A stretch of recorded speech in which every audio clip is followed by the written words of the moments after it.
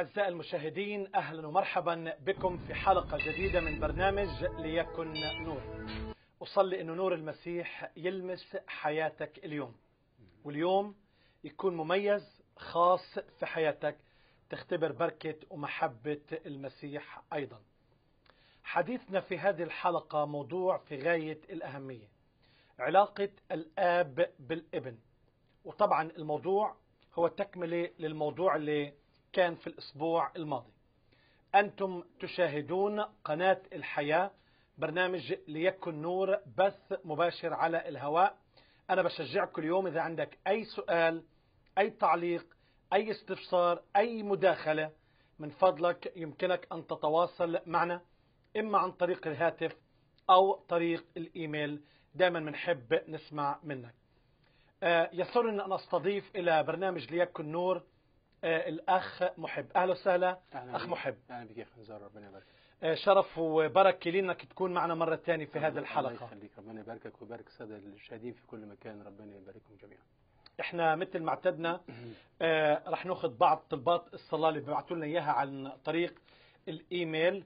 وعاوز أشجع مرة تانية إنه كل هذه الطلبات إحنا بنصلي من أجلها وبنشجع فرق كثيرة من المصلين اللي بيصلوا وبيتشفعوا من أجل هذه الاحتياجات. وأيضا أدعو المؤمنين اللي بيسمع الأسماء والاحتياجات في هذه اللحظة إنك ترفع صلاة من أجل هذه الطلبات. آه، جوان تطلب صلاة شفاء من أجل والدتها لأنها ستجري اليوم عملية جراحية لإزالة ورم خبيث باسم الرب يسوع. آمين. نصلي من أجل الوالدة أن الرب يعطيها الشفاء الكامل. أم تطلب صلاة من أجل ابنتها التي ابتعدت عن الرب. طبعا هذا الشيء بيكسر قلب الأم وبيحزن لكن بنصلي أنه الرب يمسكها ويرجعها من خلال محبته. وسيم بيطلب صلاة ليفتح له الرب أبواب العمل. زينة من الجزائر تطلب صلاة شفاء من أجل أختها وزوجة أبوها وأيضا شفاء من أجل أخوها أعمى منذ صغره وأيضا صلاة من أجل نجاح أولادها. رح نصلي يا أخت زينة. سليمان أو سليمة من العراق تطلب صلاة من أجل ابنة أختها تعاني من مرض أصيبت به نتيجة أبر تخدير وتعاني من صعوبة بالحركة وهي أم لثلاثة أطفال وأيضا صلاة لأخت زوجها لتحصل على أوراق الإقامة بأمريكا. لتكن مشيئة الرب رح نرفع هذه الطلبات والاحتياجات بالصلاة. عادل بيطلب صلاة من أجل أهله من أجل عائلته. حنا من ألمانيا بيطلب صلاة شفاء وتحرير من أجل ابنته التي تعاني من عدم النوم وقلق وأيضا صلاة من أجل عائلته. ليلى بتطلب صلاة شفاء من أجل والدها المريض. ناتالي بتطلب صلاة من أجل عائلتها وأيضا صلاة من أجلها لتنجح بدراستها. أخت في أمريكا تطلب الصلاة من أجل نزيف في العين اليمنى. بنت الرب من مصر تطلب صلاة من أجل زواج ابنها من بنت مؤمنة. الرب يبارك على هالطلب والله يعينه إن شاء الله بلاقي الاستجابة السريعة بحسب مشيئة الرب. سامح من مصر بيطلب صلاة من أجل عائلته خاصة أخته وأسرتها. خلينا نرفع هذه الاحتياجات بالصلاة من فضلكم. يا رب نشكرك ومنعظم اسمك لأنك أنت الطبيب الأعظم أنت إله حي تسمع تستجيب لصلواتنا ودعائنا أيضا. أنت الذي قلت ادعني في يوم الضيق أنقذك فتمجدني. أنت الذي قلت ادعني فأجيبك وأخبرك بعظائم وعوائص لم تعرفها. يا رب إحنا بنعرف إنه ما في مستحيل عندك. أنت القادر أن تحرر. أنت القادر أن تشفي كل ضعف وكل مرض. أنت القادر أنك تصنع معجزات في هذه اللحظات. أصلي يا رب من أجل كل اسم ذكر أو ذكرت إنك اليوم تصنع معجزة في السماء. ما تخلي أي احتياج يرجع فارغ. لكن بنصلي من أجل معجزات وآيات. ومد يدك في هذه الحلقة أنك تجري الآيات والمعجزات. ولا سيما خلاص النفوس. آمين. بارك يا سيدنا الرب وتمجد يا ابن الله الحي. أيها الرب يسوع نصلي أنك تتدخل اليوم ولا سيما في حياة كل مشاهد. امين أنا عارف إنه في مشاهدين كثيرين اللي بيعانوا من أمراض صعبة.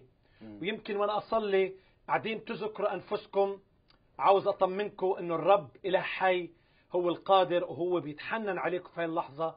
ورح يلمسكم. ورح يشفيكم باسم الرب يسوع. آمين. بارك يا رب على هالحلقة اتمجد فيها. وصلي باسم الرب يسوع. آمين. آمين. آمين. أهلا وسهلا آه، أخ محب. إحنا مبسوطين أنك تكون معنا في هذه آه، الحلقة. أشكرك يا حديثنا في هذه الحلقة عن علاقة آه، الآب بالإبن. وطبعا في تساؤلات كثيرة تتوجه لنا عن طريق البرنامج برنامج مم. ليكن نور. آه، مثلا واحدة من الأسئلة. إحنا بنتكلم عن الآب والابن وبنتكلم عن اللاهوت. فالسؤال أين كان الآب عندما صلب الابن؟ وأسئلة أخرى طب لمن نصلي؟ أو ما هي العلاقة بين الآب والابن؟ أو هل كان الآب والابن في شركة وانسجام آه، مستمر؟ طبعا رح نجاوب على الأسئلة. طب إذا ذكرنا المسيح ليه المسيح؟ لماذا يصلي المسيح إلى الآب بينما هو والآب واحد. واحد. مين بيصلي لمين؟ طبعا كل هذه التساؤلات عاوز عاوزين يعني آه، نلقي الضوء عليها حتى يكون في توضيح ل- لهذه الأمور. خلينا أبتدي السؤال يمكن اللي دائما بيسألوا أين كان الآب عندما صلب الإبن؟ أقصد. الرب يسوع المسيح. حقيقي ال- ال- الأسئلة دي كلها من الأسئلة الجميلة و... وعادة كتير من من العلماء والمفسرين المسيحيين يتكلموا فيها وهي يعني تحتاج إلى إجابة بسيطة آه، طبعا في إجابات صعبة أو بمعنى صح يعني يعني أعلى من من من مفهومنا ال- البشري لكن على كل حال بنحاول آه، معاك يا أخي نزار النهاردة إن إحنا نتكلم بكل بساطة ولا سيما مع المستمع اللي هو ما عندوش عمق. ودراسات لاهوتية كتير. آه، أول حاجة لازم نعرفها إن الله واحد. إحنا ما عندناش ثلاث آلهة إنما إحنا إلهنا إله واحد وهذه الوحدانية هي وحدانية جامعة مانعة. آه، ما عندناش آه، ثلاث أقانيم. أسف ما عندناش يعني الله ليس أقنوم واحد لكنه ثلاث أقانيم. آه، بمعنى أنه مثلا هدي لك على سبيل المثال عشان الناس تفهم هدي مثال بسيط جدا. أنا لما أقول مثلا النهارده يسعدنا ويشرفنا إن يكون معانا الدكتور والأستاذ الجامعي ومدير مستشفى ناصر. الأستاذ الحبيب محب مثلا. هل معنى كده إن أنا بقول عندي ثلاث شخصيات ولا شخصية واحدة؟ أنا برحب بالأستاذ يعني برحب بالدكتور. ممكن يفسرها إنه على أساس دي اصطلاحات أو ألقاب معينة. نعم هي بالظبط كده. هي مش حكاية مصطلحات القاعده يعني ما هو هو دكتور على أي دكتور. هو آه، آه، آه، طبعا نفس الشخص الواحد. يعني عايز أقول إن اللاهوت لا يتجزأ. مم. اللاهوت لا يتجزأ.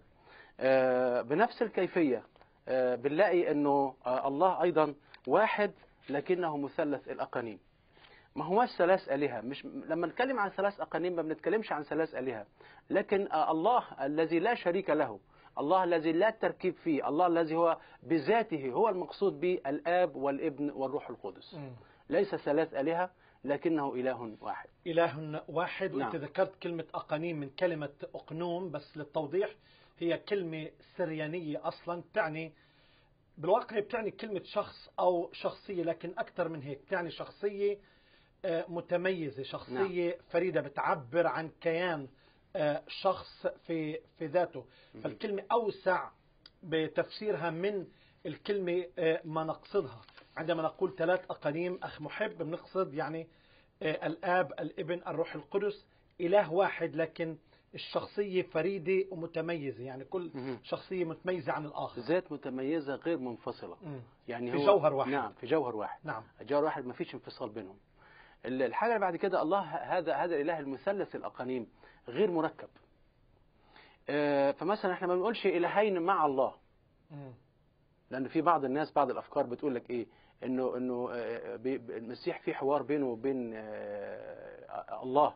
بيقول له أنت أنت قلت يا يا مسيح أنت اتخذوني قلت للناس إلهين من إلهين دون- يعني من دون. الله يعني أصبح عندنا إلهين وعندنا الله لكن فهذا شرك يعني هي كانت بدعة ال- المريمية اللي نعم. بآمن الله ويسوع ومريم آه. حاربتها الكنيسة وهي البدعة كانت موجودة في الجزيرة العربية كانت موجودة و- وعشان كده إذا كان الإسلام كان بيحاربها فمش بيحاربها مش هو أول واحد اللي حاربتها أيوه مش ما هو مش أول واحد يعني يتكلم نعم. ضدها لكن المسيحية اتكلمت ضدها نعم. آه لكن هذا الإله الواحد الذي لا شريك له آه لا ينقسم أيضا ولا يتجزأ على الإطلاق. مم. ما ينفعش إن إحنا نقسمه أو نجزئه آه الحاجة الثانية ان هذا الإله ليس ثلاث أجزاء ليس ثلاث عناصر ليس ثلاث أشكال لكن لأنه هو ليس مركب أصلا. فالأقانيم هي عين ذات الله. معلش هي كلمات مصطلحات فلسفية لكن هي دي ال ال ال ال ال ال الكلام اللي طلعوا به الفلاسفة والباحثين في هذا الأمر. آه عايز أقول نقطة تانية مهمة جدا. الله مع تفرده الأزلي. آه كان ولا يزال مستغني بذاته عن كل شيء. آه عشان كده هو لا يتعرض لأي تطور. فمثلا على سبيل المثال لما خلق العالم هل لما خلق العالم حصل فيه تغيير؟ ولا هو هو كان أثناء الخلق كما كان قبل الخلق كما هو بعد الخلق؟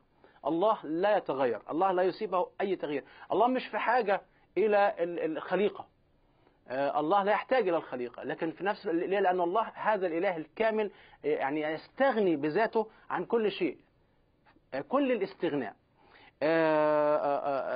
الله يعني كان يتكلم وعشان كده إحنا نؤمن ان الله الكلمة الله الروح القدس الله الآب. كان في كان هذا الثالوث أو ما صح هذه الوحدانية الجامعة. لو لو كان هذا الإله وحدانية مطلقة طب قبل الخلق كان بيكلم مين؟ هو ناطق بكلمته حي حي بروحي بروح. فقبل الخلق كان بيتكلم مع مين؟ اذا هو هو اتكلم بعد الخلق طب قبل الخلق هل هل كانت هل هل كذا هل كان الكلام متعطل ولا كان ولا كان شغال؟ اذا هو هل هو كان محتاج للخليقة حتى يعني آه، يتكلم ولا هو كان بيتكلم قبل خلق الخليقة؟ يعني إحنا بنآمن في الوحدانية الجامعة نعم مش المجردة لا. لأنه حتى كلمة المجردة بتوقع أنفسنا في مشاكل لاهوتية كبيرة جدا. حتى آه، في الإسلام يعني في آه، في عناصر في الإسلام اللي منها المتصوفين ومنها بعض ال- الشيعة الإسلامية اللي بتنادي بفكرة الروحانية طبعا لله. فبتعبر أكثر يعني آه، قريب للفكر المسيحي. مشان مشان إحنا ما بنآمن في شيء مجرد أو أجرد لأنه إذا قلنا الله بحب بحب مين؟ بالظبط قبل الخليقة بعد الخليقة. إذا الله بيتكلم كان بيتكلم مع مين؟ فالله يعني مظبوط كائن بذاته لكن متفرد. جامع، نعم متفرد. متفرد أزلي جامع. كان بيحب قبل الخليقة؟ لأنه كان كان وما الله- زال يحب. ولا زال يحب. كان كان بيتكلم قبل الخليقة ولا زال يتكلم. آه لكونه لكونه ثلاث أقانيم. فإذا هو صفاته فاعلة منذ الأزل وإلى الأبد. ما تعطلتش ومش محتاجة لوجود كائن حتى يفعل هذه ال- ال- الصفات. اذا لابد إن إحنا نصرف يعني ال- ال- الفكر بتاعنا في إن الله لا يحتاج إلى آه، آه، الكائنات. يعني آه، ما كانش محتاج ليا ولا محتاج للكائنات عشان خاطر يتكلم لكن هو كان كلمة يتكلم وكان روح حي وكان ناطق وكان محب وكانت في كل هذه الصفات فاعلة آه، مع شخصه الكريم لأنه ليس أقنوما واحدا بل ثلاثة أقانيم. طبعا لما نتكلم عن الكلمة عن يسوع المسيح. الكتاب واضح في إنجيل يوحنا الإصحاح الأول. آية 18 مكتوب الله لم يره أحد قط. الابن الوحيد الذي هو في حضن الآب هو خبر. هو خبر. يعني إحنا بنعرف عن الله من خلال إعلانات ومن خلال عمل يسوع المسيح. المسيح الكلمة اللي بنفس الإصحاح بيتكلم في البدء كان الكلمة. والكلمة كان عند الله وكان الكلمة الله. فالمسيح هو كلمة الله المعلن الذات الإلهية أو الذات الإلهية معلنة من خلال شخص يسوع المسيح. نعم. هذه واحدة من الأسرار الإلهية. أخ محب. نعم. آه، اللي بنسميه سر التجسد إنه كيف الله بيختار إنه يتخذ جسد وكل الفكرة وكل الموضوع على لأنه بحبنا. وعاوز يقدم فكرة الخلاص ويظهر محبته إلى أبعد الحدود من خلال التضحية. نعم وأنا هنا أجي بقى للسؤال اللي حضرتك سألته واللي الناس بيسألوه أحيانا. أين كان الآب عندما صلب الابن؟ زي ما إحنا قلنا هو يعني اتحاد هو ثالوث حينما يكون أحد أطراف الثالوث بيقوم بمهمة خاصة ب- بال- بالجزء اللاهوتي الخاص به مش معنى كده إن الأجزاء الأخرى منفصلة. فمثلا فعل صلب يعني المسيح لما اتصلب على الصليب من الذي وقع عليه فعل الصلب؟ هل اللاهوت ولا الناسوت؟ بلا شك طبعا إن فعل الصلب لم يقع على اللاهوت لكن فعل الصلب وقع على الناسوت. عشان كده شخص ربنا يسوع المسيح آه، لما كان في الصليب أو ما قبل الصليب لما كان بيتعب مين اللي كان بيتعب؟ يا ترى اللاهوت ولا الناسوت؟ مين اللي كان بيعطش؟ اللاهوت ولا الناسوت مين اللي كان بيتألم؟ اللاهوت ولا ولا الناسوت مين اللي كان بي- بيشعر ب- ب- بآثار الجلد؟ اللاهوت ولا الناسوت مين اللي اللي اللي, اللي, مات فوق الصليب؟ اللاهوت ولا الناسوت بلا شك إن هذا الجانب هذا هذه الأفعال وقعت على الناسوت لكن اللي يخلي هذه الأفعال آه، أفعال لا حدود لها غير محدودة. كون اللاهوت الذي لا حدود له الأزلي الأبدي حل في المسيح الذي حل فيه ملء كل اللاهوت هذا ال- ال- ال- اللاهوت الذي في في الناسوت شخص ربنا يسوع المسيح خلى ال- ال- الألم والفداء والصليب والكفارة بتكون مش كفارة محدودة لكن كفارة غير محدودة. من تكفر عن من أول آدم إلى آخر إنسان يولد على سطح الأرض. ليه؟ لأنه مش بس الناسوت لو لو فقط الناسوت هو اللي اتصلب كان يبقى محدود. لكن وجود اللاهوت في الناسوت بيخلي هذه الذبيحة ذبيحة غير محدودة وبالتالي تقدر تكفر عن كل خطايا العالم وتوفى أيضا حق الله غير المحدود. لأن لما اخطانا في الله إحنا بنخطئ في شخص. مم. لما نخطئ في إنسان أنا لما اخطئ في حضرتك يعني أنا بحاول إن أنا يعني أقدر أعمل حاجات ترضيك. لكن من أنا حتى أفعل أفعال ترضي ال- الله الغير محدود فلا بد أن تكون أيضا الكفارة والذبيحة غير محدودة. ومش ممكن هتصل إلى هذا الحد إلا إذا كان هناك اللاهوت متحدا بالناسوت. والكتاب يقول يحل فيه في نعم. المسيح يسوع كل ملء اللاهوت جسديا. بس للتوضيح يعني اللي مات هو الجسد على الصليب. نعم. مع إنه كان في اتحاد بين اللاهوت والناسوت لكن اللاهوت لا يموت اطلاقا. ما زالت حضرتك اللاهوت لا يتأثر. لا لأنه المسيح قال على الصليب إلهي إلهي لماذا تركتني؟ هنيجي عند النقطة دي. مم. لكن أنا عايز أتكلم كمان إنه آه، المسيح اللي هو شخص الذي وقع عليه فعل الصلب هو الذي حمل في جسده خطايانا. زي ما بيتكلم الكلام ده الرسول بطرس بيقول هذه الكلمات الذي حمل هو نفسه خطايانا في جسده. على خشبة لكي نموت عن الخطايا فنحيا للبر الذي بجلدته شفيتم. فإذا الجلدة دي جت في جسد شخص ربنا الجسد الطاهر الجسد اللي قال عنه القرآن غلاما زكيا لم لم يفعل خطية لم يعرف خطية لم وقال هذه الكلمات وتحدى ال- ال- ال- الجموع اللي كانت موجودة في عصر وقته من منكم يبكتني على خطية. هذا الإنسان ال- أو هذا الناسوت الذي بلا خطية صار خطية لأجلنا عشان يشيل عننا خطايانا. وعشان يشيل عن كل العالم خطايا لابد أن يكون اللاهوت متحد بالناسوت عشان يقدر هذا هذا الجسد الذي يحمل خطايانا يكون أيضا حامل لكل الخطايا في كل العصور لكل الأزمنة لكل الناس. لأنه هكذا الله أحب العالم. حتى بذل ابنه الوحيد لكي لا يهلك كل من يؤمن به في كل وقت في كل زمان في كل مكان بل تكون له الحياة الأبدية. حديثنا أخ محب هو عن العلاقة بين الآب والابن. لأنه ال- ال- المبدأ أو الفكرة يعني مبدئيا غير مقبولة لكثير من الناس. بيعتقدوا لما ننطق كلمة الآب أو الابن بيعتبروها نوع من الكفر. فكيف فينا نوضح هذه الفكرة للمشاهد بشكل مبسط مع أنه أنا وأنت مدركين هذا الشيء بيتطلب إعلان إلهي بيتطلب عمل إلهي أنه الرب يجدد الإنسان ويفتح الذهن حتى يستوعب هالفكرة لأنه كيف لله محدود أو العقل المحدود أن يفهم اللا محدود كيف للعقل الترابي. أنه يفهم هذا الإله المبدع الخالق العظيم يفهمه بلغة بسيطة. آه، إحنا إحنا ما نقدرش طبعا ما أقدرش أنا زي ما مرة واحد من القديسين كان كان بيفكر في نفس في نفس التفكير ده. وبعدين هو ماشي على شاطئ لقى ولد طفل صغير قاعد عامل بيلعب في الرمل وماسك آه، زي كده جاروب صغير أو ماسك زي يعني جردل صغير وعمال ينقل بيه مية في في الحفرة. فبيقول له بتعمل إيه؟ قال له أنا عايز أنقل البحر في الحفرة. المحيط ما يعني. ينفعش. أو المحيط في الحفرة. ما ينفعش ما يجيش. ليه؟ ما أقدرش أنا استوعب الاله الغير محدود ما أقدرش أنا يعني افهمه لكن أنا أقدر افهم اللي هو اراد ان يفهموني. ولو قدرت أن أفهم الإله بطل إله بصراحة. تمام. وشيء تاني مش كل شيء ما بفهم أو ما بدركه معناته أنا برفضه لأنه في كتير أشياء ما بفهمها في جسدي أو في عقلي أو حتى في الكواكب والطبيعة أمور آه، غير مدركة بال- بالعقل. نعم. لكن مش لأنه لا أدركها بشكك في صحتها أو لا أؤمن بها.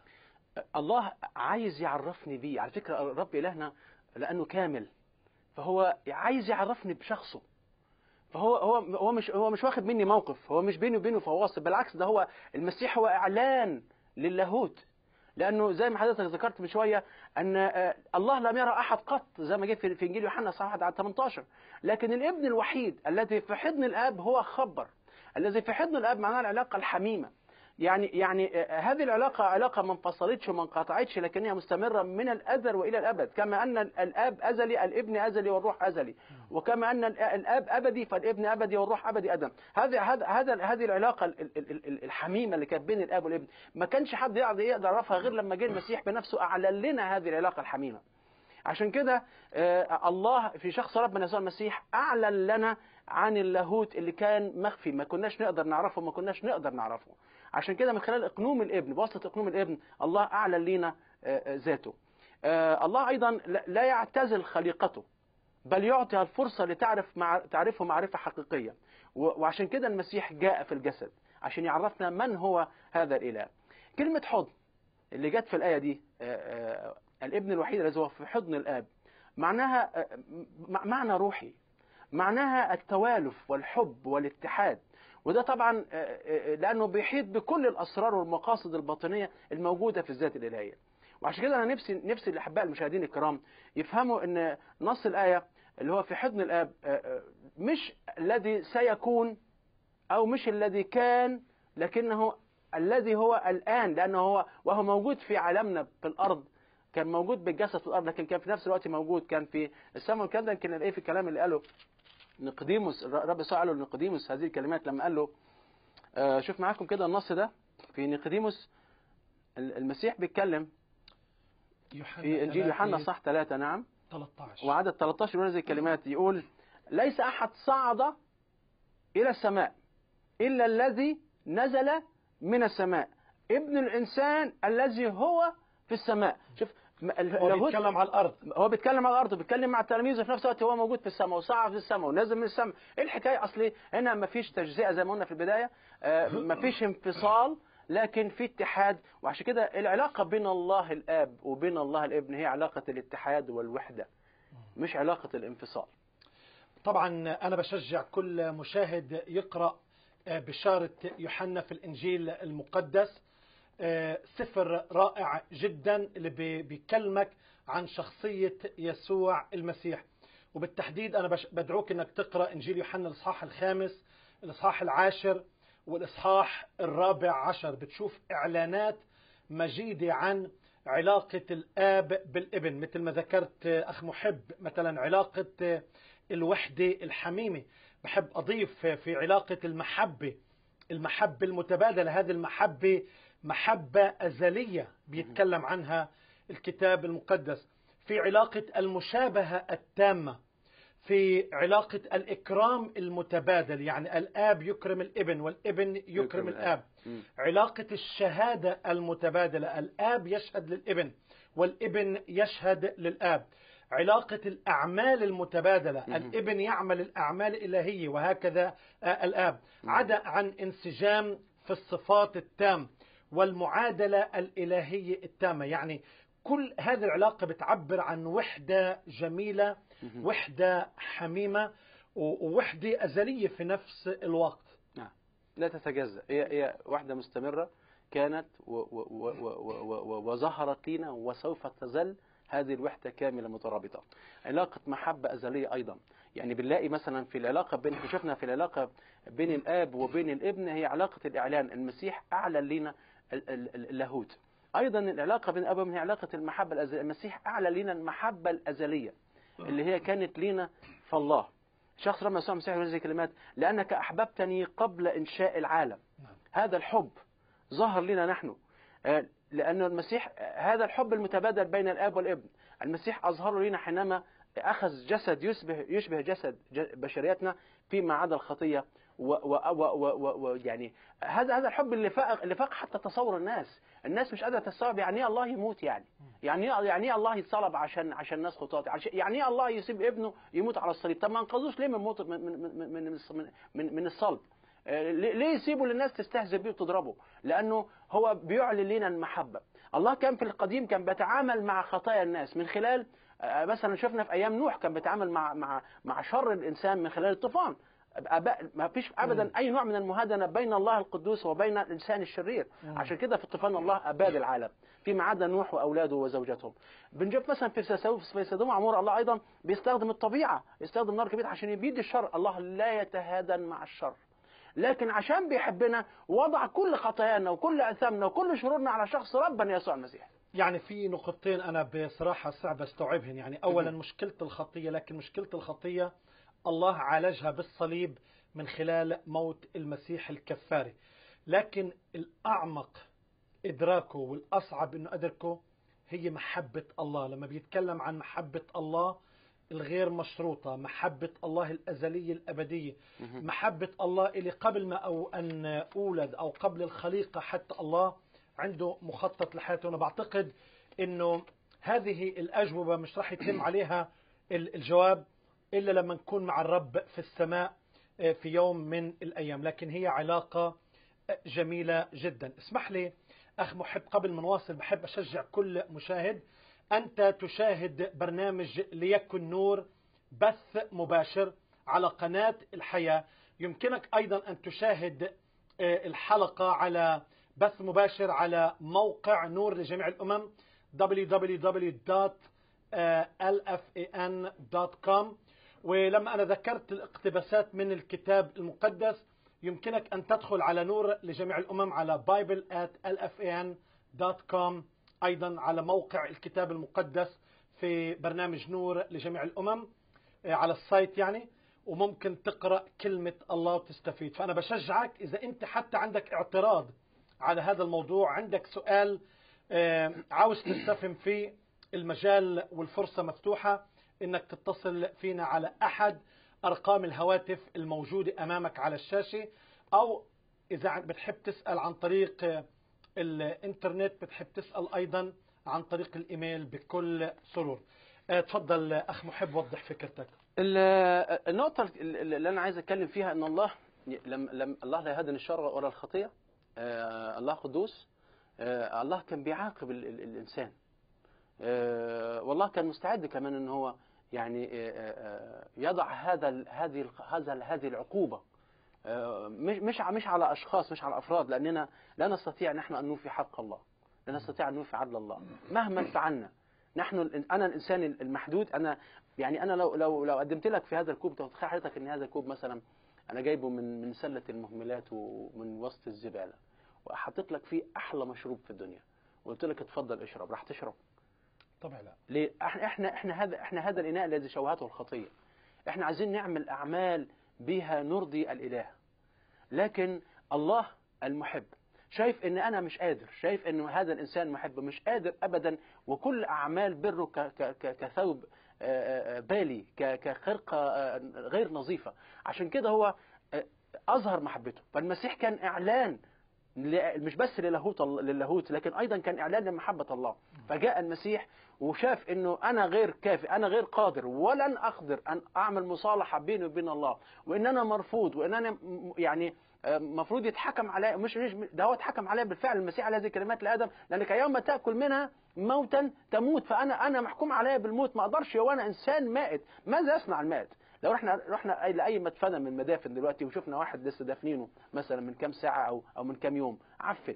هي- هيقدر يقدم إيه؟ هيقدر يعمل إيه؟ ولا حاجة. فأنا في نظر الله بسبب خطاياي وشروري أنا مائت. لكن الله المحب. في شخص ربنا يسوع المسيح الذي أعلن الكلمة المتجسد أعلن الابن محبة الله و- و- والله الآب يعني صب كل جامات غضبه على هذا ال- ال- المصلوب. عشان كده بنلاقي إنه بدون عمل المسيح لا طريق. عشان كده المسيح هذه الكلمات أنا هو الطريق والحق والحياة. ويقول أيضا إن حرركم الإبن فبالحقيقة تكونون أحرار. لأن هو الذي أعلم محبة الله. لأنه الخطيئة أخ محب هي ضد الإله موجهة ضد الله الغير محدود.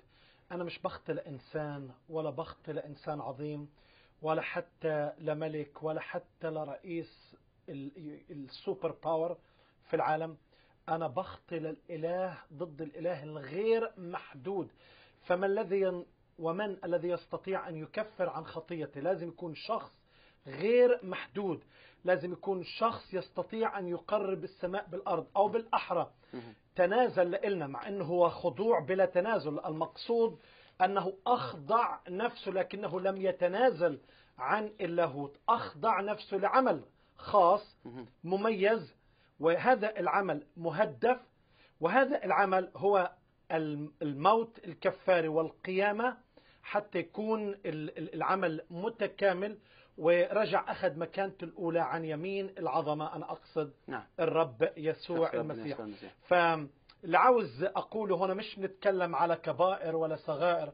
مش نتكلم على آه، خطية مميتة أو خطية عرضية مش نتكلم على شيء صغير أو شيء كبير مش نتكلم على خطية بنرتكبها أو بنفعلها لكن نتكلم حتى كما يقول الكتاب من يعرف أن يفعل حسنا ولا يفعل تحسب له خطية لأنه المقياس هو الإله الغير محدود الله القدوس اللي مش ممكن مستحيل إنه ينظر للخطية أو ينظر للشر من أجل هذا لما نتكلم عن العلاقة انه المسيح طوعا واختيارا وبسبب محبته لك ولي اختار إنه يتخذ جسد.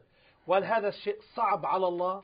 إذا الله اللي تكلم من العليقة التي تحترق مع موسى والله تكلم بطرق وأنواع كثيرة هل يعسر على الله أن يتخذ جسدا؟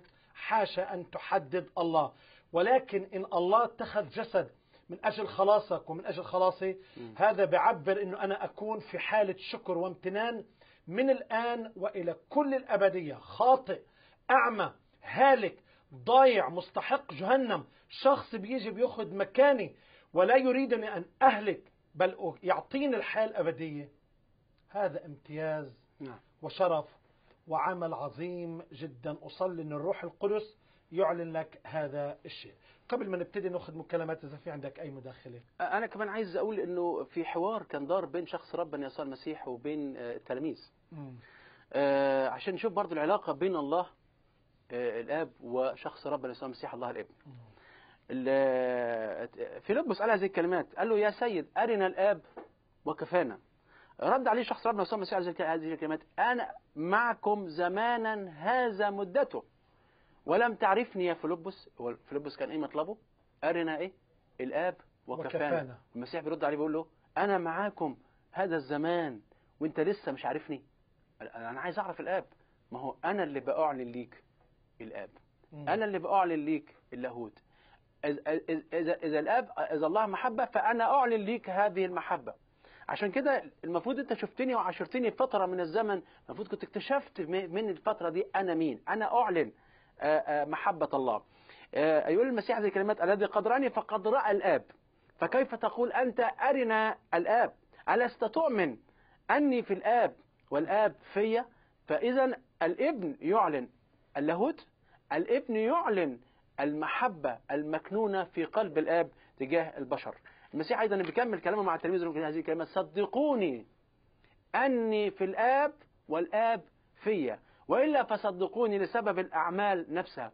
أعمال المسيح اللي زي ما كنا بنتكلم دلوقتي إنها تحيي الموتى آه، تبرئ الأكمى آه، تشفي ال- ال- البرص آه، يعني كل هذه الأفعال لا يستطيع بشر أن يفعلها. فهي الأعمال التي تشهد على أنه الخالق. حينما يصنع مثلا طين ويطلب بها عيني أعمى أو زي ما جه في بعض الكتب يصنع من الطين طيرا وينفخ فيه. على مين اللي بينفخ؟ ومين اللي بيدي الق- القدرة على على على, على الحياة؟ إلا الشخص ربنا أو إلا شخص ال- الإله الخالق. عشان كده المسيح أعلن لينا اللاهوت وأعلن لينا محبة الله الآب. آه، يسوع المسيح كان موجود في بركة بيت حزدة في إنجيل يوحنا الإصحاح الخامس. وشفى إنسان له 38 سنة في مرض فالج مفلوج.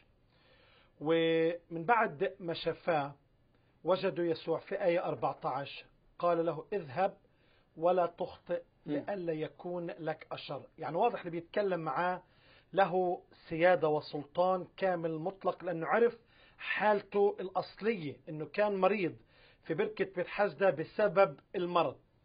فطبعا أثار غضب اليهود. في إنجيل يوحنا إصحاح آه، خمسة في آية 17 اسمع رد المسيح على اليهود.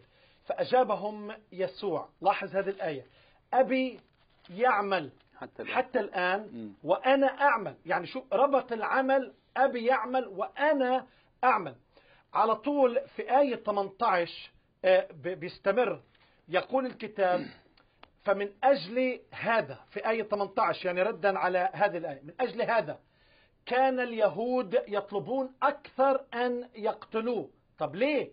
لأنه لم ينقض السبت فقط بل قال أيضا إن الله أبوه. هنا علاقة متميزة فريدة. مش أبونا ولا بالجمع لا أبوه. معادلا نفسه نفسه, بالله. بالله. خلينا ندرك يعني اليهود كيف فهموا ال- ال- الموضوع. يعني عاوزين يرجموا المسيح. ليه؟ لأنه قال أبي مش أبينا بصيغة الجمع. طب ما ما فيهاش مشكلة لو قال يعني أبينا. أبي يعمل حتى الآن وأنا. وأنا أعمل. فكانوا عاوزين يقتلوه بالحجارة لأنه هاي يعتبر تجديف بالنسبة لليهود. أرادوا أن يرجموه بالحجارة لأنه كلمة أبي أي أنه معادلا نفسه بالله. في آية 21 في إنجيل يوحنا إصحاح خمسة تكملة لهذا الموضوع يقول يسوع لأنه كما أن الآب يقيم الأموات ويحيي نعم. كذلك الابن أيضا يحيي من يشاء. فلاحظ هون الآب يعمل الابن يعمل. آه، آه، المعادلة الإلهية بين الآب والابن. ال- المسيح يعني يعادل نفسه آه، بالآب. وهون بنشوف الآب يحيي نفس الكلمات اللي الله بيتكلم عن نفسه في سفر التثنية لما موسى بيتكلم عن الله الله الذي يحيي ويميت يميت ويحيي. فالمسيح يستخدم هذه الآية وبنفس الإصحاح يقول له حياة في ذاته. كذلك الابن أيضا يحيي من يشاء مم. السؤال هل المسيح هو الله شو رايك بهاي الآيات طيب لو شخص بيقول هذه الآيات واحدة من من نقطتين إما هذا الشخص بيكون مخدوع. أو بيكون. كاذب. أو بيكون بالفعل مجدف خادع كبير كبير كبير وده اللي. شافوه وده اللي شافوه اليهود آه. وكانوا عايزين يرجموه ومش بس لكن حتى العلماء والفلاسفة والغير مسيحيين والملحدين لما بيتأملوا في شخصية مسيح يقرون وينحنون إجلالا ووقارا لهذه الشخصية المتميزة من حتى نابليون في بونابرت في العصر ال في يعني الحديث من أكثر من 200 300 سنة. يعني طريقة احترامه بكلام عن المسيح كقائد فمش أي كلام إن واحد م- مجرد بيهذي كلام المسيح بيتكلم هذه الكلمات أيضا الإكرام الإلهي في آية 23 في نفس الإنجيل إنجيل يوحنا إصحاح خمسة لكي يكرم الجميع الإبن كما يكرمون الآب. الآب. من لا يكرم الإبن لا يكرم الآب الذي أرسله لاحظ هون ربط فكرة ال- الإكرام أيضا مع آه، الآب في آية 26 إحنا ذك- ذكرنا عن هذا الموضوع. لأنه كما أن الآب له حياة في ذاته. كذلك أعطى الإبن أيضا أن تكون له حياة في ذاته. لاحظ كل هذه العبارات. يعني مش عبارات بسيطة قوية جدا. طبعا الإنسان يقف إما أن يؤمن إجلالا وخشوعا. تقول لي يسوع نبي عظيم مرفوض الفكرة من أساسها. تقول لي معلم و... ومصلح وعمل أفضل وأع... وأعظم الأمور نعم ولكن بدون ما أن ندرك أن يسوع هو المسيح مم. ابن الله المخلص الوحيد كل هذا الإيمان لا فائدة له ولا أهمية مع كل احترامي لكل مشاهد يسوع قال في إنجيل يوحنا صحاح 10 آية 30 أنا والآب واحد من يستطيع أن يقول هذه الكلمات أنا والآب واحد. واحد. في يوحنا 14 أنت ذكرت هذه الآية. في آية 9 بالواقع. يسوع برد على فيليب على فيليبوس. قال له يسوع يعني ردا على كلماته أرنا الآب وكفانا. أنا معكم زمان زمانا. هذه مدته ولم تعرفني يا فيلبس الذي رآني فقد رأى الآب فكيف تقول أنت؟ أرنا الآب فطبعا يعني واضح أن هذا الشيء إعلان إلهي ألست تؤمن أني أنا في الآب والآب فيا. الكلام الذي أكلمكم به لست أتكلم به من نفسي لكن الآب. الحال في. فيا هو يعمل. الأعمال واضح هنا العلاقة حميمي الاتحاد كامل بدون أي انفصال بدون أي امتزاج. لكن فيه تميز لعمل كل واحد. آه، ممكن نبتدي ناخذ بعض المكالمات. تفضل. أخ محب ناخذ آم، آه، جورج من الولايات المتحدة. أنت معانا على الهواء. تفضل أخ جورج. آه، الأخ جورج من الولايات المتحدة. تفضل.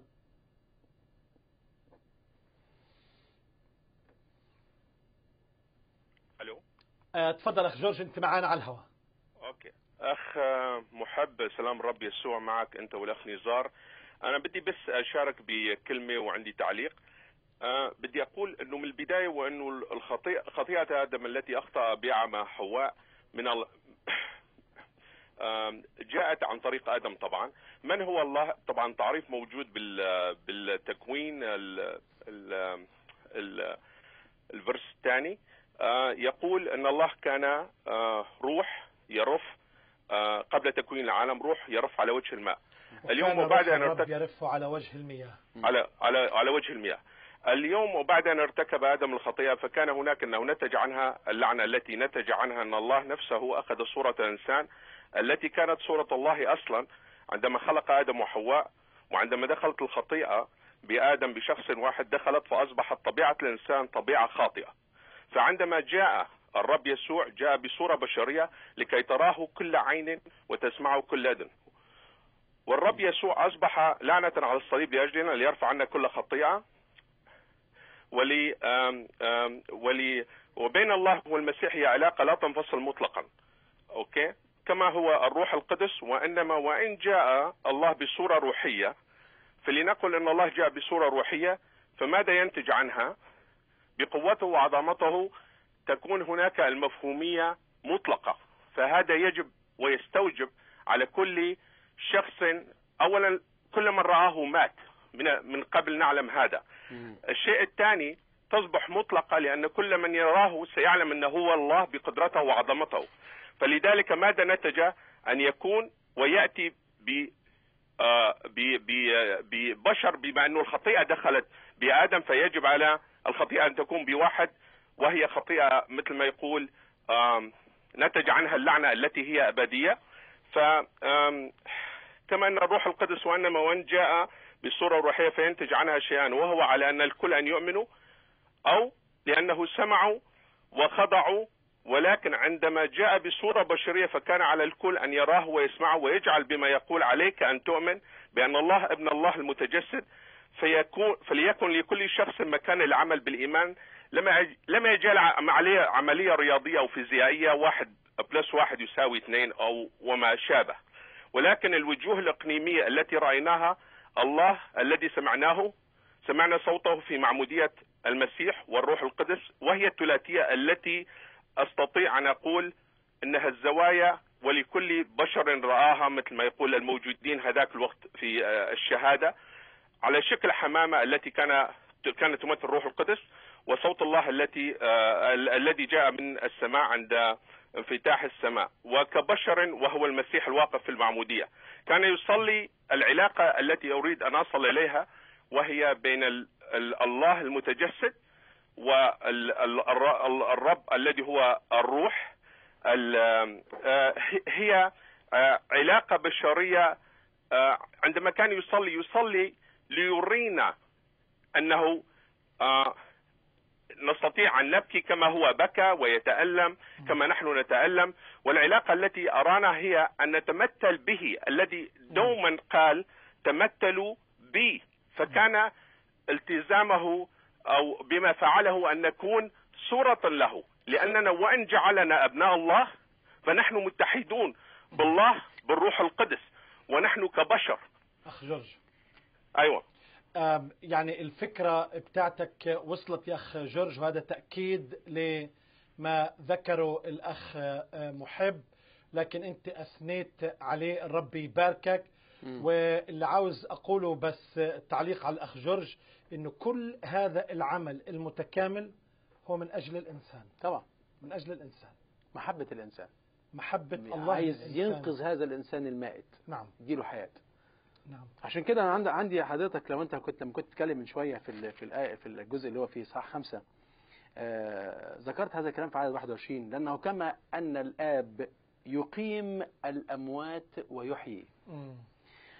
كذلك الابن أيضا يحيي من يشاء وما قريتش بعد كده ويميت من يشاء لأن هدف الله وقصد الله مش إن هو يميت من يشاء. في آلهة تانية بتميت لكن إلهنا فقط يحيي لأن الله لا يشاء أن يهلك أناس بل أن يقبل الجميع إلى التوبة. عشان كده كان الغرض من مجيء شخص يسوع المسيح لعالمنا مش إن هو يقول إنجيل ولا يكتب إنجيل لكن كان غرضه إنه يكون هو ال- ال- البديل عني وعنك ويقدم كفارة عني وعنك عشان يحييني ويحييك. آمين. آه، رح ناخذ آه، مكالمة. من نهال من إنجلترا تفضل آه، نهال مساء الخير يا أخ آه، نزار ومساء الخير لضيفك آه، الأخ محب. آه، أنا اولا بشكركم جدا جدا على فعلا الطرح الرائع اللي قمتوا بيه آه، للموضوع لأنه الموضوع ده من أهم المواضيع اللي فعلا يجب الواحد إنه يديله وقت كامل لأنه من جوهر آه، من الأساس ويعني يحط الكلمة اللي حضرتك عايزها من فعلا الحاجات الأساسية جدا جدا اللي لازم الواحد يقضي فيها وقت لأنها آه، مهمة.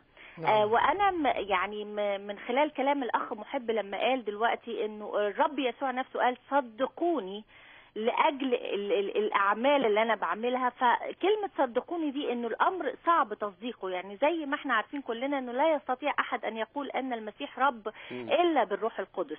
however لكن إحنا أنا قضيت سنة مع شهود يهوة وأنا هوجه الكلمة ال- ال- الكلام اللي جاي ده لشهود يهوة. أنا قضيت معاهم سنة كاملة في الموضوع ده ومن الحاجتين بس اللي فعلا ما قدروش يردوا عليهم خالص هي آه، أحب أشارككم فيها في رؤية آه، واحد وعدد ثمانية آه، بيقول أنا هو الألف والياء البداية والنهاية يقول بالكائن والذي كان والذي يأتي القادر على كل شيء مم. ال- الآية ديت مذكورة عن الله الآب لاقيها في نفس الأصحاح تاني في عدد آه، 11 بيقول فلما رأيته سقطت عند رجليه كميت فوضع يده اليمنى علي قائلا لي لا تخف.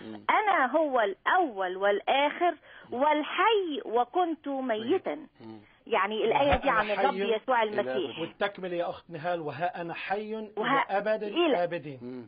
آمين ف- فالآية ديت ما ينفعش إحنا الاثنين نشترك في نفس اللقب الأول والآخر ما لم نكون نفس الشخص.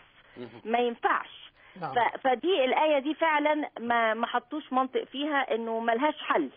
آه، الحتة الثانية في زكريا آه، اصحاح 12 وعدد عشرة بيقول وأفيضوا على بيت داوود وعلى سكان أورشليم روح النعمة والتضرعات فينظرون إلي الذي طعنوه وينوحون عليه كنائح على وحيد له.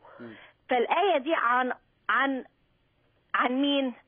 يعني نبوة عن الرب يسوع ومين اللي بيقول آه، إلي يا ريت نقراها صح مش إلى الذي طعنوه إلي مين الذي طعن هو الرب يسوع نعم. بالرغم من الآية عن الله فما ينفعش برضه يستقيم المعنى. إلا إذا كانوا الاثنين the same person هما الاثنين شخص واحد فطبعا بالرغم من صلاتي إن ربنا يفتح العيون و... وربنا يب- يدي بصيرة جديدة لكل أحبائنا لكن لازم ياخدوا بالهم إنه في آيات كمان واضحة وصريحة ما يستقيمش المعنى مم. إلا إذا كانوا الاثنين واحد طبعاً. وربنا يبارككم الرب يباركك يا أخت نهال على هذا التوضيح آه، زيادة أريد أن أقول عشرات عشرات الآيات التي تبرهن على لاهوت ال- المسيح نعم. عاوز أقتبس آه، آية لأنه المسيح ذكر صدقوني. عاوز أقتبس من يوحنا إصحاح 14 آية أخرى. آية 11 يقول الرب يسوع صدقوني. مرة أخرى بيقول هذه الآية صدقوني. إني في الآب والآب فيا. وإلا فصدقوني لسبب الأعمال نفسها. يعني الأعمال هي اللي بتبرهن عن شخصه. وأنت ذكرت الآية اللي في إنجيل يوحنا.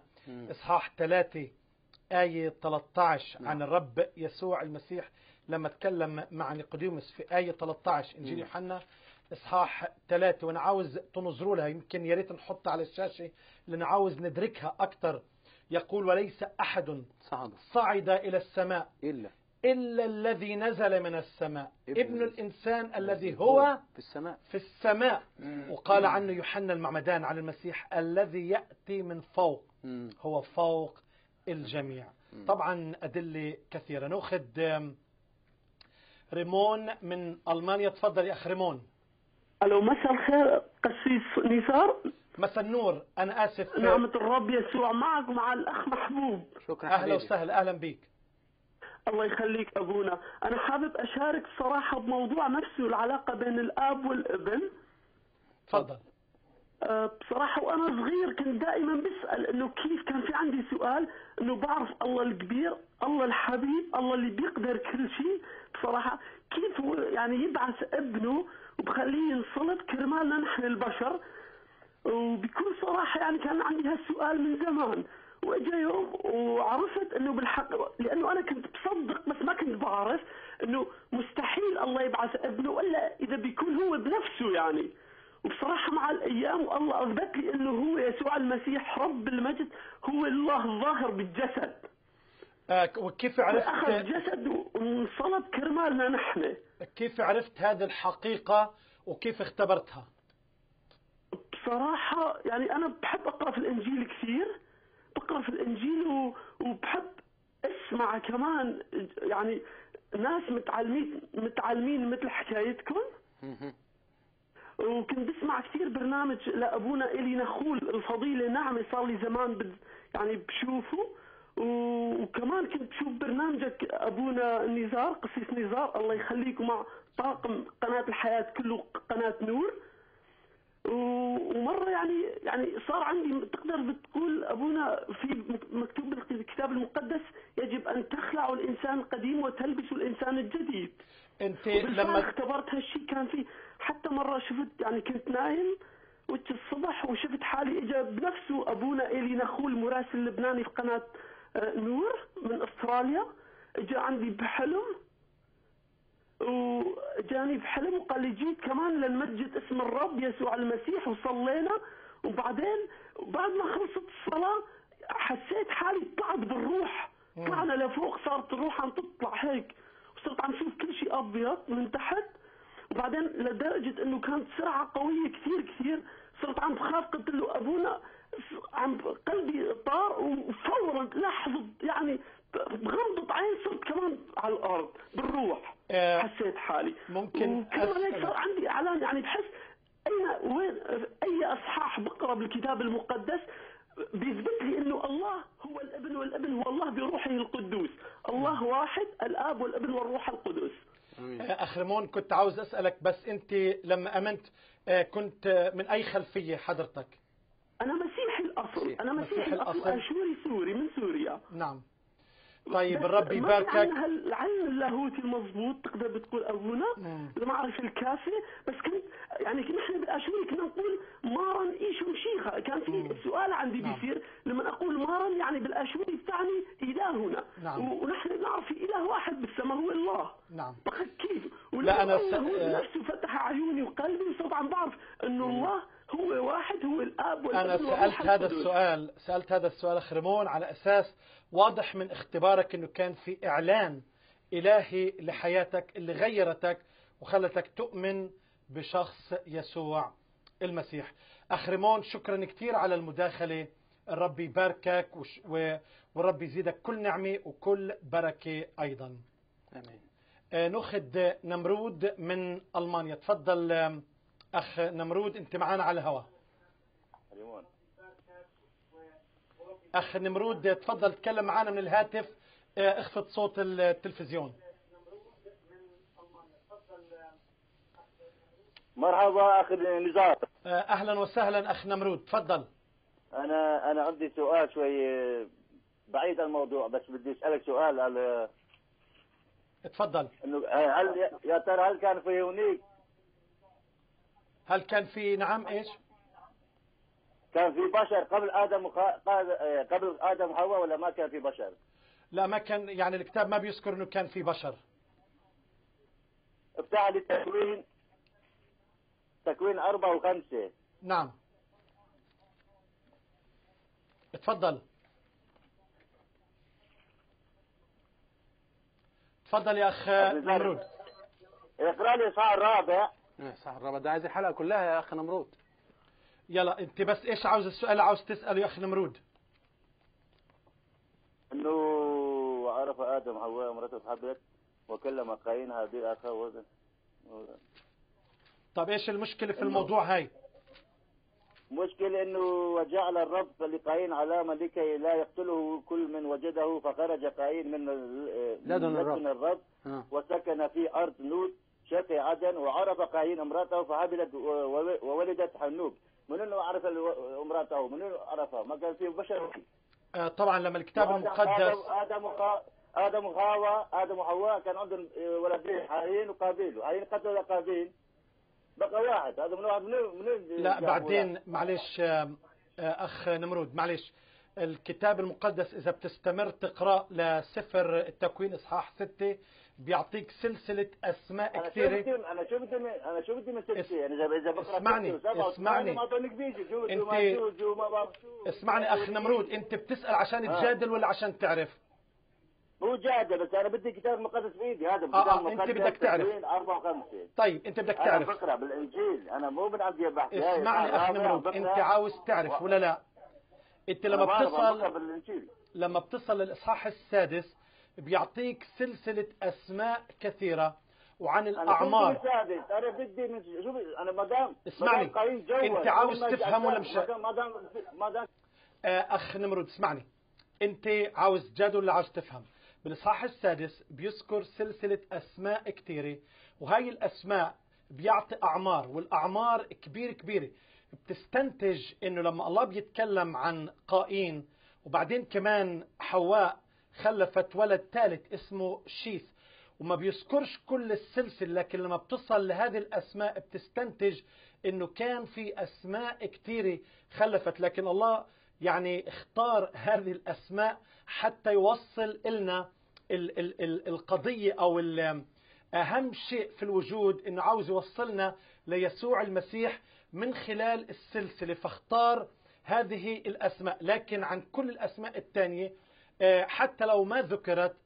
خلفوا كتير لأنه عاشوا طويل أعمار طويلة جدا خلفوا بنين وبنات كتير من فضلك. اقرأ طيب خليني خليني بعد إذنك يا اخ نزار. نزار الأخ نمرود أيضا خلي بالك معايا في سفر التكوين اصحاح خمسة. سامعني يا أخ نمرود اسمعني. عدد أربعة يقول لك إيه بقى؟ في تكوين خمسة عدد أربعة. الاصحاح اللي بعد على طول اللي أنت قريته. وكانت أيام آدم بعدما ولد شيثة ثمانية سنة. اسمع. وولد بنين وبنات ذكرهم ما ذكرهمش هل لما اتولد هو قايين لما قدم من ثمار الأرض كان عنده كام سنة؟ كان كان بي- بيرضع ولا ولا كان كبير في السن؟ يعني كان ليه إخوات تانيين ولا ما كانش ليه؟ كان ليه إخوات تانيين. وهابيل لما قدم من من من من من كبش من من من السمان بتاعة الكبش بتاعه كان عنده إخوات تانيين وهو قايين كان عندهم إخوات تانيين بس الكتاب ذكر الاسمين دول فعشان كده في عدد أربعة يقول لك إيه إنه ولد اللي هو آدم بنين وبنات. ما ذكرش ارجع كده شوف كم اسم مذكور هتلاقيش غير قايين وهابيل وشيس. طب فين البنين والبنات الباقيين؟ موجودين. بسلسلة الأنساب في الإصحاح السادس كمان ممكن وإصحاح خمسة. ممكن يعرف أكثر الإصحاح السادس عن نوح وبعدين بيتكلم عن الطوفان بيرجع لسام وحام ويافث ومنها بتتفرع البشرية لكن إصحاح خامس. بيتكلم عن آه، أسماء كثيرة وهي الأسماء عاشت عمر أيوة. طويل ومن خلال. هذا العمر. مش حيرح راح يذكر لأنه بيتكلم عن مدن وبيتكلم عن قرى. بيتكلم عن حرف ومهن. بيتكلم عن هجرة بيتكلم عن أمور كتير واضح إنه كان مع مش موضوعنا أخ آه، نمرود لكن آه، الرب يباركك شروق من كندا تفضل يا أخت شروق آه، سلام المسيح معكم يا أخ نزار وأخ محب. أنا أهلا وسهلا. أنا بس حبيت أضيف دي لأنه في كثير آه، مسلمين أو إخوة يعني مسلمين بي- بيفتكروا إنه آه، يعني بيقولوا إزاي المسيح ربنا ده بيتهان وبيتصلب وكل الحاجات دي. فأنا عايزة أقول إنه دي الحاجات مش مفاجأة. هو جاي عشان الحاجات دي. وفي إنجيل يوحنا إصحاح 12 من عدد 27 بيقول لأن نفسي قد اضطربت. وماذا أقول أيها الآب نجني من هذه الساعة ولكن لأجل هذا أتيت إلى هذه الساعة مم. أيها الآب مجد.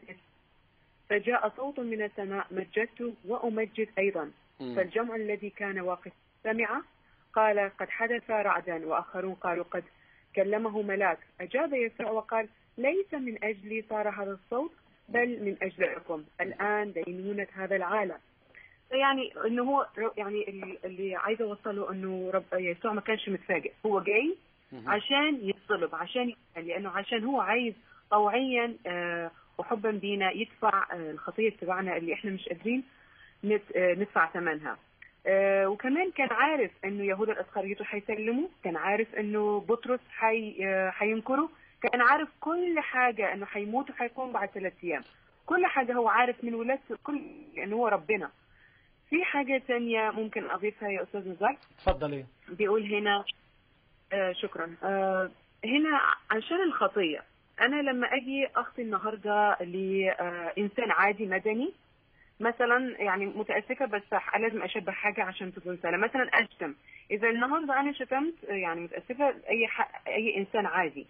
عقوبتي مش هتكون زي ما أنا أشتم آه، شرطي بوليس. ولا هتكون زي ما أنا أشتم رئيس جمهورية. مم. فكل ما زاد قيمة ال- الشخص اللي قدامي الشتيمة هي شتيمة نفس الشتيمة هستخدم بس عشان الشخص اللي قدامي مش نفس القيمة فهتكون تختلف عقوبتي بقيمة ال- الشخص اللي قدامي مش بخط... بقيمة خطيتي. نفس الشتيمة هشتم بس اللي قدامي مختلف فعقوبتي هتكون مختلفة. لما أجي أشتم رئيس الجمهورية هيكون ممكن إعدام ممكن سجن مدى الحياة. هيكون في عقوبة. الشرطي ممكن أو يعني أي حاجة بسيطة. فهنا أنا بج... إذا إذا أنا شتمت ربنا أو يعني عشان بس نفس الكلمة أقول نفس الخطية اللي بخطيها لأي إنسان أو بشتمها يعني دلوقتي بخطيها قدام ربنا ربنا غير محدود. فعقوبتي هتكون غير محدودة اللي هي لا أبدية. الموت اللا أبدي. الأبدي قصدي سوري ال- ال- الموت الأبدي لأنه هو غير محدود فخطيتي عقوبتي هتكون غير محدودة. فهي دي اللي لما كنت حضرتك تتكلم على الصغائر والكبائر ومش عارفة إيه مفيش.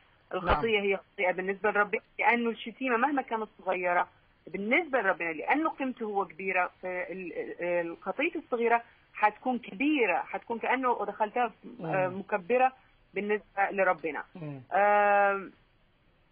فد يعني ده اللي كنت حابة أضيفه. طيب، شكراً. ربنا يبارككم. يباركك يا أخت شروق على هذه المداخلة الحلوة والرب يباركك. في العهد القديم لما كان الولد يتمرد على الأب وعلى الأم يعني ولد متمرد كان عقاب الموت أي. الرجم. واللي كان يسب الرب اللي كان يشتم. الرب كمان كان عظا... يعني عقاب العقاب كان أيضا آه، الموت الرجم.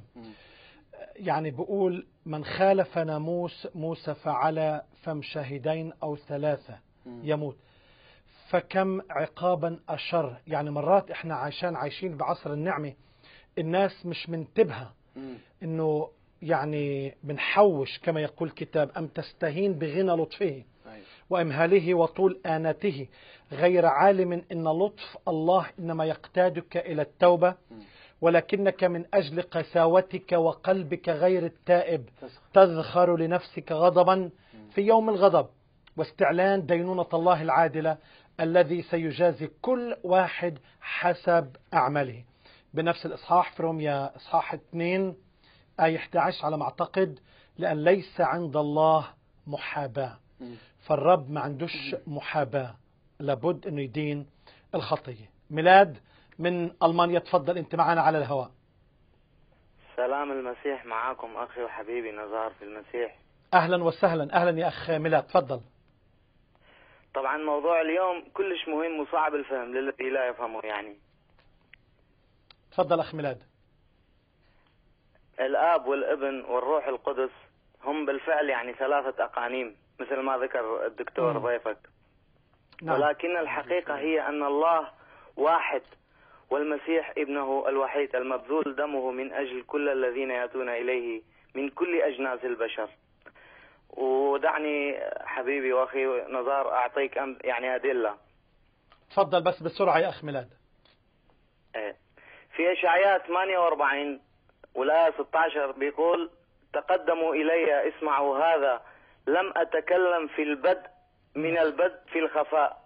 منذ وجوده أنا هناك والآن السيد الرب أرسلني وروحه. إذا هنا نجد أن علاقة ال- الابن والأب توجد في هذه الآية. وفي إشعياء آه، 43 والآية 15 بيقول أنا الرب قدوسكم خالق إسرائيل ملككم. إذا الملك هو المسيح والرب هو الله.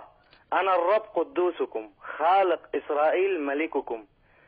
هنا نجد أن الابن والآب يعني بيصيروا واحد. نعم. شكرا يا أخ ميلاد. نعم. شكرا كثير على هذا التوضيح والمداخلة. في عندك إيش تاني أخ ميلاد؟ آه، حبيبي أنا عندي طلب الصلاة عندك طبعا. أنا مراتي خ... يعني اتصلت بقناة الحياة قبل فترة كانت عاملة عملية و... وبتخضع العلاجات هلأ و... والحمد لله يعني كثير مليحة. وبصلي من أجل كل الناس. أنا إنسان خاطئ طبعا وبعتذر لكل من أسأت إلي وكل من شتمته أنا ما أستاهل كل شيء وما أستاهل المسيح لأنه أنا إنسان كلش خاطئ. وأطلب الصلاة من أجل كل العالم. وأطلب. الصلاة من أجل ثلاثة نساء بدون أطفال. يعني يا أخويا نزار أنا بؤمن فيك وبؤمن أنك تصلي والروح القدس معاك دايما. فأنا بصلي لهذول النساء يعني بس يكون يصير عندهم أطفال. برفعهم بالصلاة عندك ميلاد، شاء الله إن شاء الله. نعم ميلاد حبيبي. حبيبي أنت ذكرت أنه خاطي لكن نشكر رب الإنسان بالنعمة. نعم. يعني كنت أعمى والآن أبصر. لكن يا أخ ميلاد كتير مهم أنه ناخذ هذه الخطوة الحقيقية في حياتنا. بتحب أصلي معك يا أخ ميلاد؟ وبعدين عاوز أرفع ال- أكيد. الطلبات هذه كثير بحبك وبحب صلاتك وبؤمن فيك وبؤمن بالمسيح. خلينا خلينا نصلي يا أخ ميلاد. قول له يا رب يسوع. يا رب يسوع. ارحمني أنا الخاطئ. ارحمني أنا الخاطئ. اغسلني بدمك الكريم. اغسلني بدمك الكريم. تعال إلى حياتي. تعال إلى حياتي. وادخل قلبي. وادخل قلبي. وغيرني. وغيرني اكتب اسمي في سفر الحياة. اكتب اسمي في سفر الحياة. وساعدني أعيش لك. وأعدني أعيش لك. باسمك أيها الرب يسوع. باسمك أيها الرب يسوع. آمين. أنا عاوز أصلي لك يا أخ ميلاد وأصلي لزوجتك. آمين. وللثلاث نساء اللي. ذكرتن يا رب أنا برفع أخوي ميلاد. ثبته بالإيمان حافظ عليه واحميه بصلي من أجل زوجته يا سيدنا الرب أنك تتدخل في حياتها. تلمسها لمسة شفاء سريع وعاجل وأي مسبب أي عوارض لأي مرض في داخلها باسم الرب يسوع تشفيها. وأيضا الثلاث نساء اللي عاوزين أطفال وأيضا المشاهدين في هذه الحلقة كل اللي عاوزين أطفال باسم الرب يسوع. في هذا العام تعطيهم أطفال وتتمجد بآيات ومعجزات باسم الرب يسوع. آمين. آمين. آمين. شكرا يا أخ. ميلاد. طيب ناخذ أحمد من السعودية. تفضل يا أخ أحمد. السلام عليكم أستاذ نزار. وعليكم السلام. أهلا وسهلا. كيف حالك وكيف حال ضيفك الكريم؟ الحمد لله. تفضل أخوي الله أحمد يبارك الله يسلمك. آه، في سؤال يعني أنا قبل قليل شاهدت الأخ النم- يعني سمعت الأخ نمرود يقول هل يوجد يعني خلق قبل سيدنا آدم عليه السلام أو كان لا يوجد؟ مم. فهذا سؤال يعني أنا بحب يعني آه، ما كانش. يعني الله إحنا ما بنعرف آه، بالتحديد يعني مكتوب في البدء خلق الله السماوات والأرض. هذا يعني الخلق. لكن لما بنقرأ في سفر حسقيال وبنقرأ في سفر إشعياء بنتكلم إنه الله خلق الكائنات اللي هي الملائكة. وبيتكلم عن لوسيفر اللي عصى الله وأنزل وسخطه إلى الأرض. هذه الكائنات كانت قبل خلق الإنسان. لكن مكتوب يعني الله قال لنعمل الإنسان على صورتنا كشبهنا. خلق الله آدم وصنع من من من عظام آدم من ضلع آدم آه، صنع حواء ونفخ فيه طبعا. وطلب إنه يكثروا ويثمروا ويملأوا الأرض. هذه الآية اللي بيتكلم عنها الكتاب المقدس الخلق. لما خلق آدم لأنه آدم هو الرئيس أو الممثل الجنس البشري. فما كانش في قبله شخص يمثل الجنس البشري. مشان هيك إحنا بنآمن إنه الخليقة أو الخلق كان آدم أول شخص يخلق على هذه البسيطة. نعم. طيب أنا يعني عندنا في ال- في القرآن يعني يعني يقول آد يعني إنه آدم آه، يعني قد النظر عن اختلافات بين الإسلام والمسيحيين. فآدم يعني في القرآن إنه كان خليفة في الأرض يعني عندنا إنه خليفة في الأرض. فطالما هو خليفة في الأرض فمعناتها كان في ناس هو جاء إنه خليفة لهم. لا المقصود الشيء أخ يعني إنه أحمد كان في خلق قبل سيدنا آدم عليه السلام موجودين آه. وهو أرسل أول نبي هو مش أول شخص. لكن كون إنه يعني يخلق من من ضلع امرأة فبعد ذاك يتزوجها فهذا شيء يعني شوية فيه له بعض الناس تفكر فيه قليلا يعني لا لا أنا ما أعرف بهذا لكن الموضوع أخ أحمد لا القرآن آه، مختلف لأنه حتى القرآن بيشهد أنه آدم لما بقول خلي- خليفة يعني ممثل الجنس البشري لأنه أيوة. لما بنقرأ في سفر التكوين نتكلم بيتكلم عن آدم أنه كان له أولاد بنين وبنات كثيرون وطبعا هو الممثل يعني رئيس الخليقة اللي- لأنه أول شخص آه، آه، خلق على هذا الأرض. وما فيش اختلاف على فكرة في هذا آه، الموضوع. يمكن يكون اختلاف بالكيفية اللي خلق فيها آدم لكن متفقين أنه أول إنسان خلق هو آدم آدم هو لا بالفعل أنا ممثل الحتة هذه يعني معلش ممثل الجنس ف- البشري. بدك تجيب لي بخ- جيب لي آيات عشان تختلف معي. معلش إنه هو أرسل كخليفة يعني هو أول رسول مش هو أول إنسان. فنحن نتعدى النقطة هذه ففي سؤال يعني ممكن أسأله. تفضل. آه، أرجو أن تسجلوا كل يوم شاهدنا يعني سجل. ما هو يعني طبعا آه، عيسى عليه عليه السلام يعني أرسل آه، يعني جاء يعني كما أنتم تقولوا إنه هو جاء ليكفر خطايانا عن أشياء ارتكبها سيدنا آدم عليه السلام. صحيح؟ فهو يعني ما هو ذنب يعني عيسى عليه السلام إنه يكفر خطايا الناس يعني هو لا ما- عفى عنهم الزمن يعني. يعني ممكن الناس تستغفر وتتوب وعادي الناس ربنا يغفر لهم ذنوبهم. هذا سؤال واحد. والسؤال الثاني إذا كان هو يعني عيسى عليه السلام إنه جاء ليكفر خطايانا كما يعني تعتقد في الانجيل طيب المرأة إنه هي في في الإنجيل عندكم انها هي يعني آه تلد آه تلد بالمشقة وتنجب وتحمل بالمشقة مم. هل المسيح عليه السلام يعني أتى وأنقذها من الحتة دي خلى ال- ال- ال- الولادة للمرأة أنا خاطب المرأة هنا حاليا إنه تستمع هنا هل طيب. المرأة حاليا عندما تلد وتحمل الوجع بيكون خفيف ولا انتهى الوجع بعد سيدنا آدم بعد طيب. سيدنا عيسى عليه السلام طيب اسمعني أخ الثاني. أحمد طيب خليني أرد عليك بسرعة يا أخ أحمد. آه، بالنسبة للسؤال الأول ما هو ذنب المسيح؟ طبعا سواء في القرآن أو في الكتاب المقدس عصى آدم عصت ذريته معه. يعني هذا واضح بالكتاب. وإحنا بنقول إذ أخطأ الجميع في آدم لأنه هو آه، الممثل الجنس البشري. فلما واحد رئيس عيلتك بيرتكب شيء بيشمل كل العيلة فهو يعني آدم بمثل كل الجنس البشري. أما ما هو ذنب المسيح؟ لا. مكتوب عنه ظلم. أما هو ظلم فتذل الفكرة موت المسيح مش لأنه ارتكب أي خطية لا. المسيح لم يعرف خطية. وجيها في الدنيا والآخرة. غلاما زكيا يعني قدوس بار لم يفعل خطية. من أجل هذا من يستطيع أن يكفر عن خطايا الناس أجمعين؟ الناس بتقدم ضحايا يا أخ أحمد منذ القديم. مش في عيد الأضحى بتقدموا ضحايا ومش القرآن بيقول إن فديناه بذبح عظيم. وكلمة عظيم هي واحدة من صفات الله أسماء الله الحسنى. فكيف نقول عظيم لخروف؟ فهذا طبعا دلالة فيه دلالة روحية مهمة جدا إنه لا يستطيع أحد أن يقوم بعمل الفداء أو عمل التضحية إلا أن يكون إنسان كامل. وهذا الإنسان ضحيته أو كفارته تكون غير محدودة يستطيع أن يرضي الله ويستطيع أن يقوم بهذا العمل لكل الجنس البشري. كما أن الجنس البشري أخطأ في آدم الجنس البشري بنال الحياة من خلال شخص يسوع المسيح. لما الرب وضع في سفر معلش اسمعني لما وضع الرب اللعنة في سفر الت- التكوين إنه بال بالأحمال أو بالأتعاب تلدين في طبعا بعض اللعنات اللي ما انتهت اللي منها الأرض مثلا تئن كل الخليقة تئن. لما بيرجع المسيح ثانية راح يكون آه، طبعا شفاء لكل الخليقة. لكن بتقول يعني بولادة الأولاد الكتاب المقدس بيتكلم عن المرأة تخلص. يعني لما بتقوم بهذا الشيء كان في خلاص وفي تذكار لكل هذا آه، الموضوع. أخ أحمد. بارك الله فيك يعني أستاذ.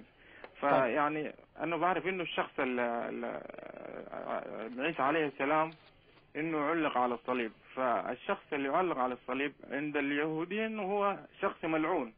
فهل يعني يجوز إنه شخص يعني جاينا يفدينا يكون ملعون؟ فيعني في تناقض بعد لا لا, لا ما في تناقض. يعني. اسمح لي أخ أح- أحمد ما في تناقض لأنه هنا بيتكلم عن البدلية العظمى. إنه المسيح علق على الصليب. نعم. مكتوب عنه صار لعنة لأجلنا لكي تحل علينا البركة. يعني تصور إنه أخذ اللعنة. ما هو كل ال- ال- البشر تحت لعنة. فالمسيح على الصليب أخذ اللعنة حملها في جسده حتى أنت وأنا ناخذ البركة. وهنا هذا العمل العظيم من أجلك يا أخ أحمد ومن اجلي أنا إنه ما في بعد إنه إحنا نكون تحت لعنة الجنس البشري ولا حتى الموت له قوة علينا ولا أي خطية. ليه؟ لأنه لأنكم لستم تحت الناموس بل تحت النعمة لأنه المسيح عمل آه، كل هذا العمل الكامل على الصليب من أجلك ومن أجل لأنه هو الكامل هو القدوس هو اللي بلا خطية. فالله بينظر إليك وإلي من خلال عمل المسيح وكأنه ما عملناش شيء لكن في شخص قدم دفع الثمن. إذا في شخص دفع الثمن هذا الشخص غير محدود. فأنت وأنا ما علينا ندفع الثمن إلا سواء إنه نأخذ هذا الشيء بالإيمان. يعني زي ما أنا بعطيك مليون دولار بقول لك يا اخ أحمد في لك نعم. مليون دولار موجود في البنك. شو بتفيد المليون دولار إذا أنت ما رحتش على البنك وسحبت المليون أخذت المليون؟ ال ال ال الكفارة عملت من أجلك ومن أجلي. لكن كيف تنتفع فيها إنك أنت بتآمن بالمسيح يسوع؟ بتقول له يا رب ارحمني. أنا الخاطئ أنا بآمن فيك. زيح عني اللعنة واكتب اسمي في سفر الحياة. هذا العمل الكامل المسيح قدمه من أجلك يا أخ أحمد ومن أجل كل مشاهد ومن أجل أنا ومن أجل المحب. من أجل أصغر أو أكبر الناس من أجل الملوك من أجل الحكام من أجل الرؤساء من أجل المغنين من أجل الراقصات من أجل أخطى خاطئ في هذا الوجود حتى ننال الحياة الأبدية. بتعرف ليش أخ أحمد؟ معلش يا اخ نزار في سؤال بسبب يعني. محبة محبة الله إلك وإلي فيا أخ أحمد بليز من فضلك أنا بحبك. أوعك تخلي الفرصة تضيع. أنا عاوزك إنك تفكر في هالكلمات. في شخص بحبك عاوزك إنك أنت تفكر بهالموضوع لأنه هذا موضوع أبدي موضوع مصيري جدا. تفضل يا أخ أحمد. طيب يا أخ نزار يعني آه، في في ال- إنه هو يعني إله رحمة مثلا عيسى عليه السلام وكذا. فهل يعني هذا يعني اله إله الرحمة يعني من طبيعته إنه يكون قاسي؟ قاسي؟ آه؟ شوف لا هو هو- آه آه أخ أحمد اسمعني. هو مش قاسي. لكن في انسجام بصفات الله. الله رحيم okay؟ لكنه عادل قدوس لكنه بار محب لكن محبته مش بيتساهل بالخطية. في انسجام كامل آه في الخطايا. من أجل هذا يعني مهم جدا إنه ندرك إنه الله رحيم بس إنه مش نصنع من الرحمة فرصة للخطية. يعني إذا قلنا قاسي الله بدين بعاقب الخطية لأنه طبعا الله أطهر من إنه ينظر للخطية. أخ أحمد إحنا أخذنا أسئلة كثير منك إن شاء الله. بنسمع معك أيضا في الأسبوع القادم. شو رأيك تتصل فينا؟ شكرا شكرا. الرب يباركك حبيبي. يلا باي باي. يلا. آه سميرة من إنجلترا تفضل. أنت معنا على الهواء. من فضلك بسرعة بسبب الوقت. أوكي. سلام المسيح قس نزار ومساء الخير إلى ضيفك العزيز. أهلا بيك أنا قابلتك أشكرك كثير كثير كثير قس نزار على صلواتك المتواصلة اللي كنت عم بتصلي لسوريا. والحمد لله بفضل صلواتك المتواصلة سوريا هلا بخير. نشكر رب نذكر الرب. وبعدين أنا أريد أقول شغلة واحدة إنه يسوع والله هو واحد. ليش؟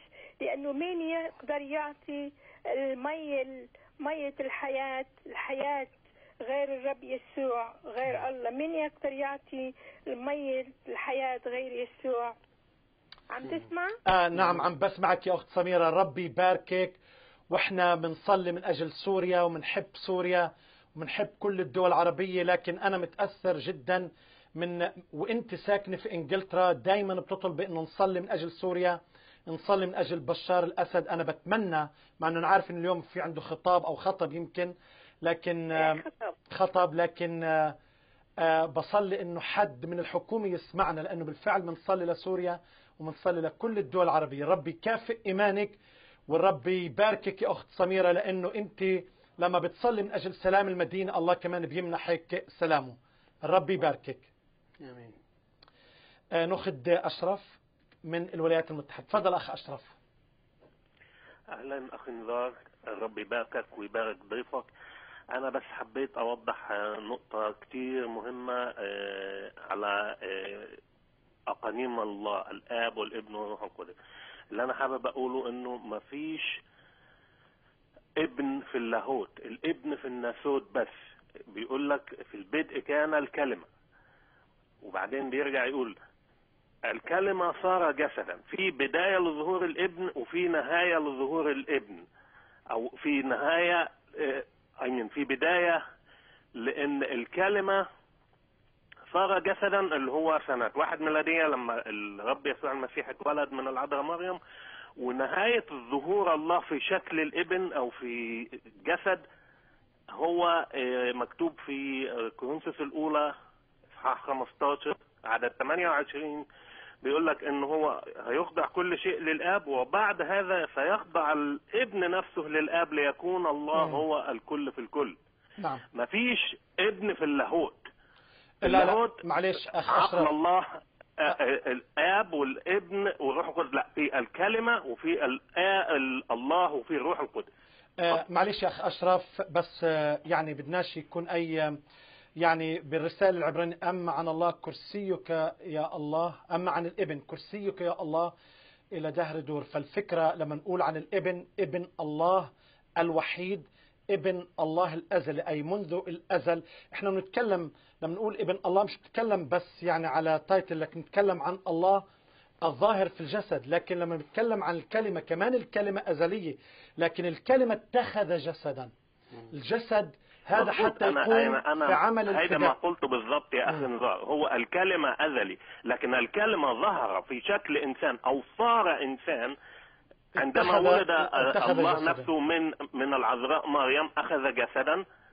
عظيم هو سر التقوى الله ظهر في الجسد. هو بداية ظهور الله أو بداية ظهور قنوم الكلمة في الجسد عندما ولد من العذراء ونهاية هذا الظهور في الجسد هو آه، بيقول لك في كورنثوس الأولى 15 28 فيخضع الابن نفسه للآب ليكون الله هو الكل في الكل.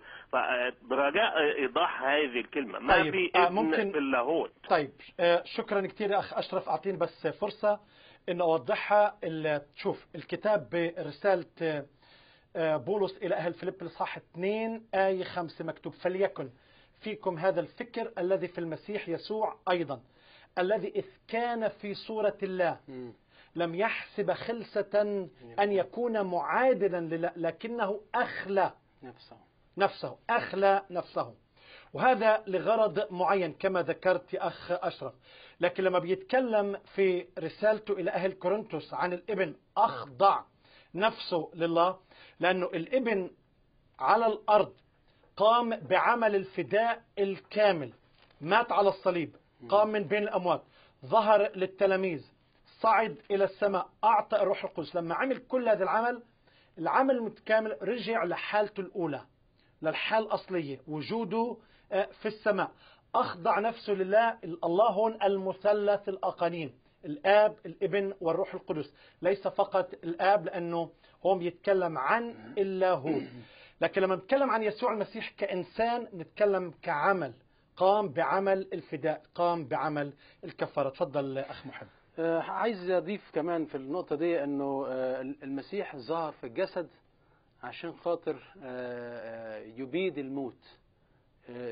قد تشارك الأولاد في اللحم والدم هو اشترك كمان في نفس الصفات في نفس في نفس الطبيعة فيما عدا الخطيئة عشان يقدر بجسده على الصليب يعني يكفر عن خطايانا. واحد من الأحباء كان بيسأل من شوية كان بيقول على إنه يعني آه، إذا كان الله رحيم إيه لازمة إن هو يعني آه، يموت يعني ما خلاص ال- الناس تعمل أعمال كويسة. ويغفر لها وت... وت... وت... يعني يتوب عليها أو أو يعني آه، حينما أطلب الرحمة من الله الرحيم فيقول لي خلاص مرحوم يا محب.